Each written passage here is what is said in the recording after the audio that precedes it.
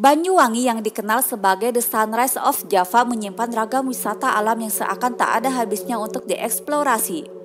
Di samping wisata alamnya yang menawan, Banyuwangi juga punya banyak spot horor yang menarik untuk dikunjungi loh guys. Berikut 9 destinasi wisata horor di Banyuwangi. Tapi sebelum nonton videonya sampai akhir, jangan lupa buat klik tombol subscribe, share, and like-nya. Happy watching! Kesatu ada Rawa Bayu. Rawa Bayu terkenal sebagai tempat pertapaan Prabu Tawang Alun.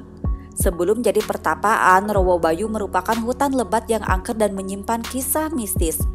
Kalau kamu mengunjungi tempat ini, kamu akan merasakan suasana mistis yang bikin bulu kuduk merinding. Konon beberapa sosok gaib seperti Nyai Resek, Macan Gading, Raja Tawang Alun dan makhluk gaib lainnya tinggal di sini. Kedua, Alas Gumitir. Memasuki Kabupaten Banyuwangi dari arah Jember, kamu akan melewati pegunungan Gumitir. Alas Gumitir yang biasanya dilewati saat menuju Banyuwangi dikenal dengan gerakan tangan patung penari gandrung yang bisa berubah sendiri. Dalam sebuah postingan dalam grup sosial media, salah satu akun menggugah sebuah foto yang terdiri dari empat foto patung gandrung di Gumitir. Unggahan tersebut menunjukkan perbedaan posisi tangan patung penari gandrung, kadang menyamping, kadang ke bawah. Gimana guys, menurut kalian patungnya beneran gerak sendiri nggak?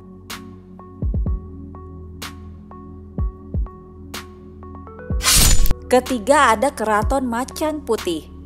Keraton Macan Putih dikenal sebagai tempat muksa Prabu Tawang Alun. Konon katanya keraton ini dijaga oleh seekor macan putih. Keraton ini dibatasi oleh sebuah gerbang di sebelah selatan keraton.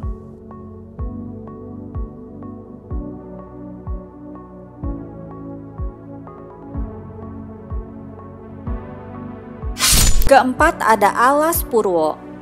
Konon katanya kalau kamu punya niat buruk saat ke Alas Purwo, kamu bisa hilang dan tak kembali.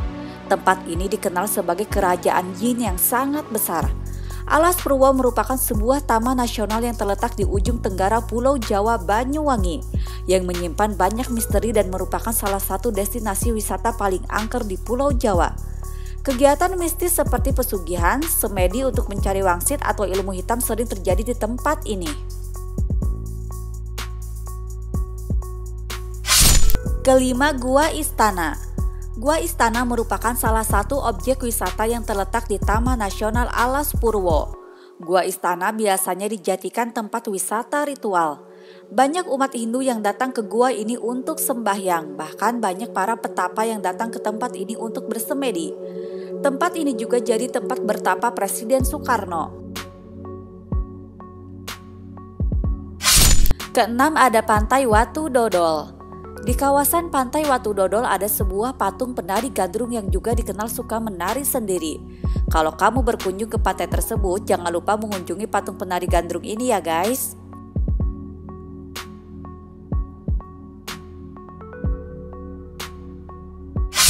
Ketujuh Gunung Ijen Salah satu gunung yang terletak di antara Kabupaten Banyuwangi dan Bondowoso. Di Gunung Ijen ada destinasi wisata yang sedang menjadi favorit para traveler, yaitu Kawah Ijen. Di Gunung Ijen banyak cerita beredar ada pendaki yang merasa dikejar polisi bersamurai sampai pendaki tersebut hilang. Kedelapan ada Jurang Tangis. Salah satu destinasi wisata di Taman Nasional Baluran. Jurang Tangis dulunya adalah aliran sungai yang bermuara ke Selat Bali. Konon di sekitar jurang di kedalaman 18 meter sering terdengar suara perempuan menangis, sehingga spot tersebut dikenal dengan jurang tangis. Menurut cerita masyarakat sekitar, suara tangisan tersebut berasal dari kisah masa lalu. Seorang gadis yang menunggu kekasihnya datang dan justru didorong masuk jurang oleh kekasihnya sendiri. Terakhir ada Pantai Boom. Pantai yang terletak di bagian timur kota Banyuwangi ini jadi saksi utama tragedi Inka yang memakan banyak korban. Ada yang mengatakan kalau mereka sering merasa diserang oleh ribuan jin dari laut. Bener nggak ya guys?